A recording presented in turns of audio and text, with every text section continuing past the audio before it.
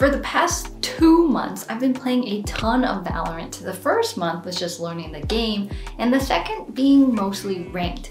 And to aid me in climbing the ranked ladder, I decided to find a new mouse pad.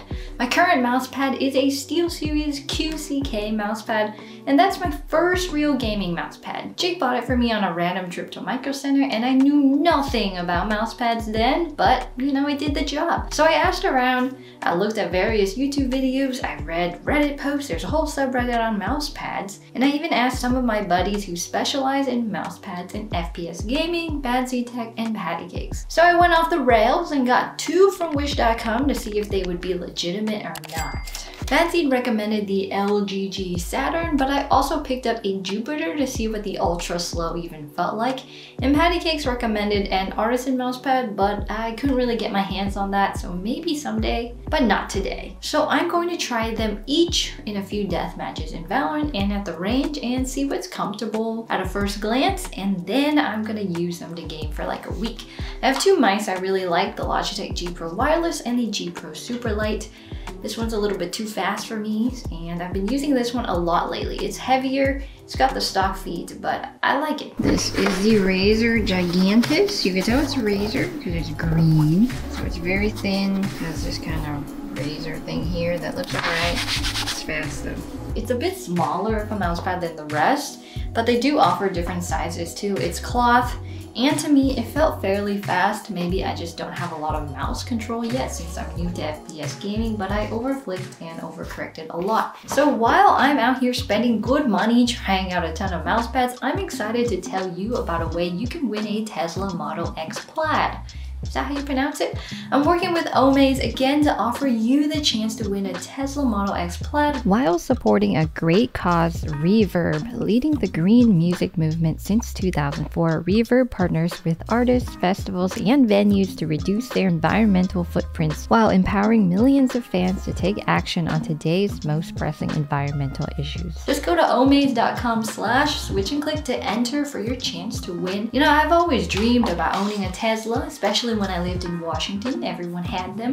They look super sleek and they're cool, and I wouldn't even need to pay for gas anymore, and you wouldn't either if you won. Everyone thinks sports cars are the way to go. Nah, they're wrong. SUVs that are electric are the future, and that's what you get with a Tesla Model X Plaid. So for your chance to win, go to omaze.com slash switch and click and enter now. Donations support the amazing work of Reverb. Next, was the Logitech mousepad.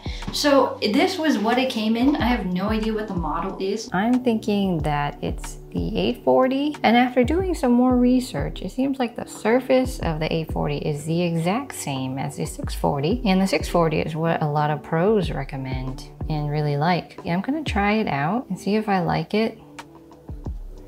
It did not come in that tube. Nope. The G840 I'm not sure if I really like it. I think it's a little bit too fast for me, but a lot of pros use it, so I might give it a try on the work desk and not necessarily the gaming one, just to try it out a little bit more before I say no to it. But so far, the LGG Saturn is the one that I like the best. And the Roccat one, I didn't use too much. It felt super thin and flimsy and eh. Okay, now for the not big brand stuff, lethal gaming gear.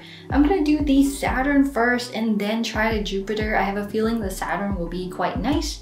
It's got a lot of support on the internet on Reddit and on YouTube too from a whole bunch of people. You got the Saturn, Jupiter, Mercury, and Venus. So this one is the fastest and that one's the slowest. So I got these two and I got the XXL. Oh, $50 per mouse pad is not terrible. You can go for an XL if you want something cheaper, but I like, I like it big. I like it big.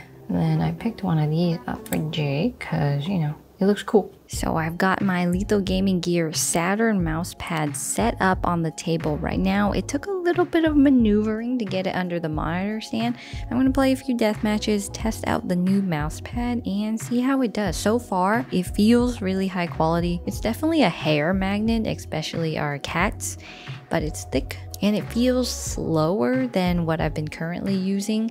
So there might be more control uh, and maybe I'll get more headshots. Who knows? Okay, so I've done a few death matches with the Saturn And I gotta say, I didn't like it at first because it took some time to get used to. This mouse pad sucks.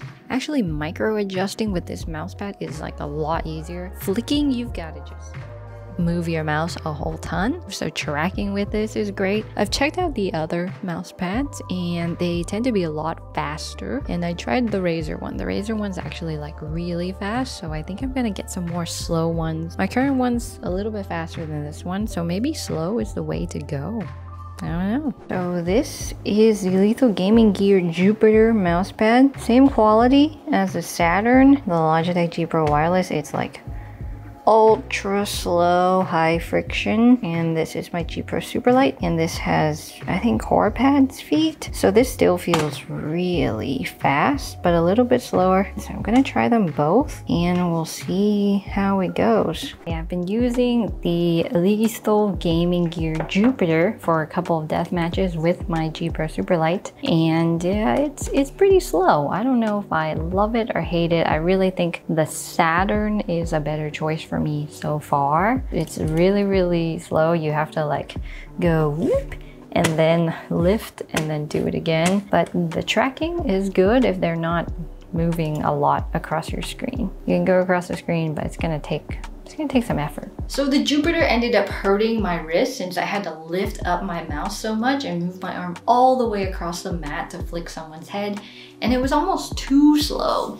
It's got this reputation online as the mud mat. It's just way too slow. I'm not about it. I'm gonna put it back in the box. So the Saturn is really the one that I'm going for right now. But from my experience, it's not about the mouse pad you use or the mouse you use. It's about you getting consistent with the gear and the settings that you choose to use. So I'm gonna give this combination a try for the next month or two and see how I feel about it. So tell me, what is your favorite mouse pad down below and do you even care about mouse pads in general? I really had no idea about mouse pads at all until I watched like Optimum Tech's videos recently. Okay, since switching to the LGG Saturn and the G Pro Wireless combo, using it for a couple days now. I am now in Silver 2. So that's me pretty consistent. I've been ranking up slowly. Games have been going pretty well. I've been winning more than I've been losing and my headshot percentage has been improving as well. Very consistent. So the intention is I'm going to use this mousepad for the long term until I find something better. Then I'll let you guys know about it.